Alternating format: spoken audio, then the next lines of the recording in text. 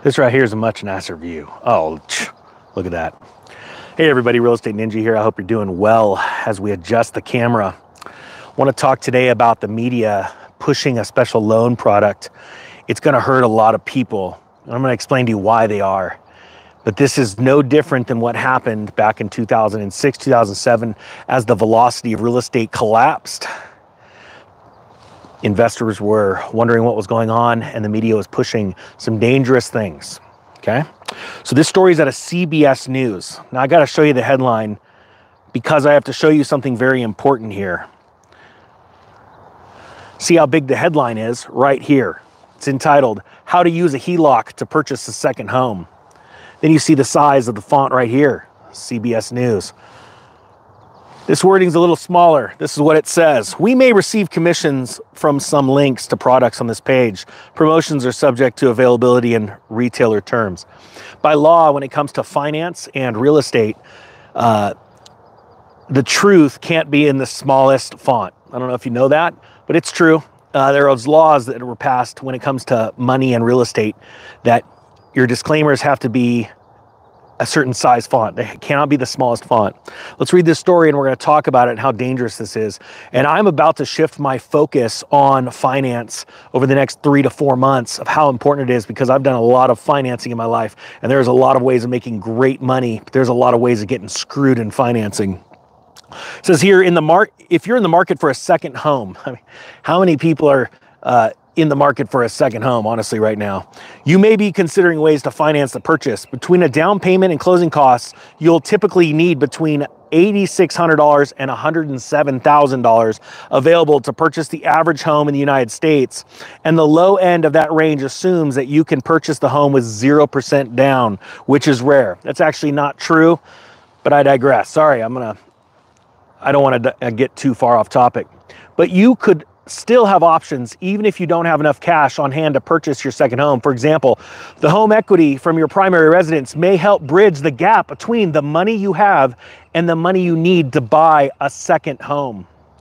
That's especially true in today's economic environment, one in which the average homeowner has about $299,000 in equity.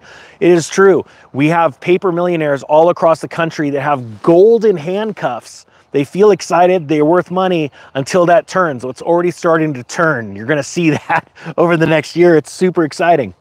It says, and one way to tap into your home's equity is to get the funds for a second home purchase is to use a home equity line of credit or a HELOC. But how exactly do you do that? And then it just simply goes into these links. A little calculator gets you excited. You type these links, they make money. Okay, here's the deal the media is gr grasping at straws right now to get make money. Okay, so they're using affiliate links, things like that. Do I harm? No harm, no foul. It's it's business, right? I understand. I own advertising company. I get it. Here's the problem. This is what they're not telling you. HELOCs can be very dangerous. Floating rates, um, they have a rate lock, but we're talking big money if interest rates go out of control. And you know that I believe, and actually I'm curious, type one, if you believe that interest rates are actually going to go higher in the future than they are now, or type two, if you think they're going to go lower before, because that's the thing, everyone thinks they're going to go lower, right? Because ultra low rates have been the norm since the dot com bubble. Here's the problem. We have an imploding economy, right? Everybody's saying one, they're going higher before they go lower, right? Even if they have a little bit of a dip, they're on the way up. The trajectory in the near to midterm is higher, right before an absolute collapse, then they go low. All right, so people with home equity lines of credit are going to get squeezed more and more. Let me give an example. And I've told this story before, I don't know if I've told it on this channel. In Lake Havasu, Arizona, 2006, the young ninjas walking across hot boat to hot boat. I'm not joking. I'm just barefoot, just walking, you know, silver bullet in the hand and, and walking from boat to boat, not like partying, I'm asking who's the boat owner? When did you buy it? And I'm curious, I'm doing a poll. Do you own it cash? I know that's got to be super awkward for a guy to be asking that, but that's the ninja. I'm an awkward guy. And so I went from boat to boat, and every single guy, and I have a way of pulling information out of people without them being offended, um, had, a, had a loan on that boat. One person, I must have stopped by 20 boats. I said, Hey, I'm taking a poll because I'm an economist, shade tree economist.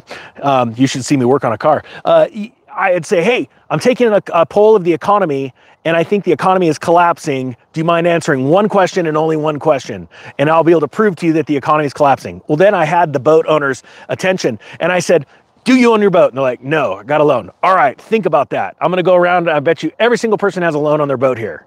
Just think about that. And they're like, oh. So I go from boat to boat, every single person, except for one. Oh, I don't know, I own the boat. I'm like, what? You've broken the challenge. You've that's it. I'm like every single person lined up. You're the only one that owns the boat. He had pretty stoked. His, you know, head went up, shoulders went back. I said, you know, that's hard to believe. I'm gonna be honest. He goes, no, man, I own the boat. I got the pink slip. And I go, you have no loan attachments. He goes, no. And he goes, well, I mean, technically, he goes, I used a home equity line of credit to buy this. And I got nailed it right there. That's it. So you couldn't have bought this cash. He goes, well, no, gosh, I don't have the money to buy this. This is like a $150,000 boat. And back then in 2006, 150 grand was a lot. Now you can't even get a ski. I mean, we're talking a 32 foot, no, not a 32 foot. That was a 28 foot Sleekcraft with dual 502s, I believe. My memory serves me right. Uh, I was really into boats. Um, it, or maybe it was a DCB. I don't know. Sorry, put your favorite boat down. You can't even get a jet ski boat or a ski boat, a wakeboard boat, a Malibu, a ski Centurion for 150 grand now. So back then was a lot of money. Those boats are now like 299, 399,000. All right. Again, why are they that much? Because of financing, right? So nobody thinks about the financing when they're signing on the dotted line and the uh, the the salesman that got you all pumped up and giving you the vision of all the girls in bikinis and all oh, the ice cold beer. It's going to be amazing. No, you got to think about okay, you, you bought the boat, was day two of ownership. Oh, your happiest day just surpassed you. Now you've got, you know, you got broken props and all this other stuff you got to deal with. And you got to deal with the financing, right? So my my thing my point is is that these equity lines it's a hangover you wake up and you're screwed and that's what's happening to a lot of HELOC owners right now that have had HELOCs for like the last four years because they're paying exuberant, I mean, massively higher uh, minimum payments on that money than they were just a handful of years ago. So here you've got the mainstream media out there trying to uh, portray this great idea. Hey, why don't you buy a second house? You're like, that's great. What are you going to do with that second house? If you're not renting it for cash flow and you think you're rich, you're going to get screwed. And going back to Havasu, you know, I was a part of that uh, market where these luxury condominiums were being built and people were buying second homes like crazy. And then I watched that uh, fall out and that collapse. And that was exciting to be a part of uh, because it showed you the true meaning and reality of a real estate cycle and that there's those downtimes. I hope you're getting ready for this. Don't listen to CBS News, they're bad. Real Estate Ninja is out.